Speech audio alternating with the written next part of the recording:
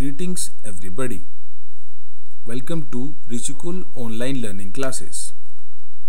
Today I will be taking your political science subject of class 11th and I will be taking very first chapter that is constitution why and how from the book Indian Constitution at Work.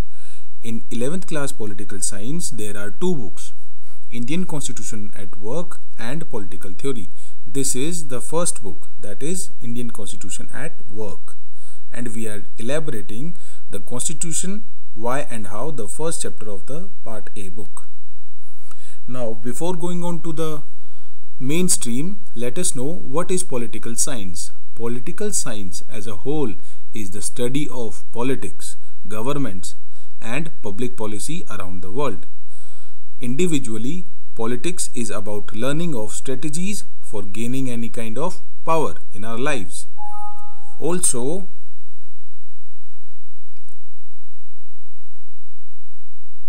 science is about the applying of those learnings to the life for betterment.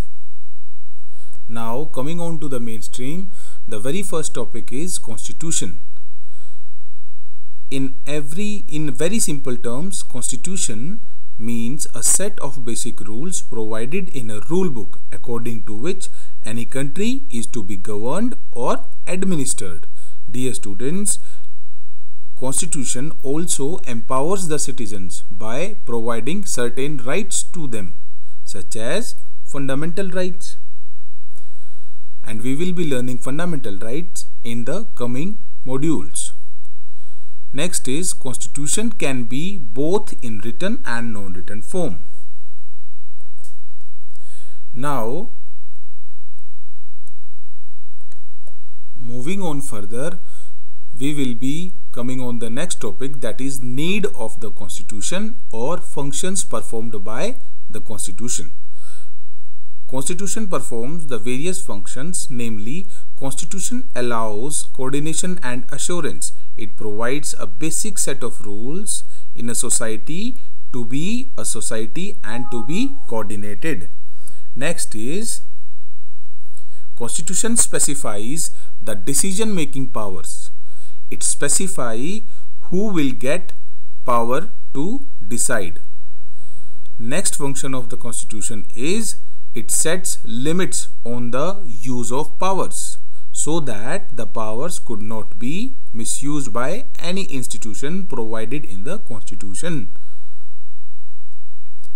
As it specify who will get the power also it specify how much the institution will get power so that smooth functioning of the administration could be pursued.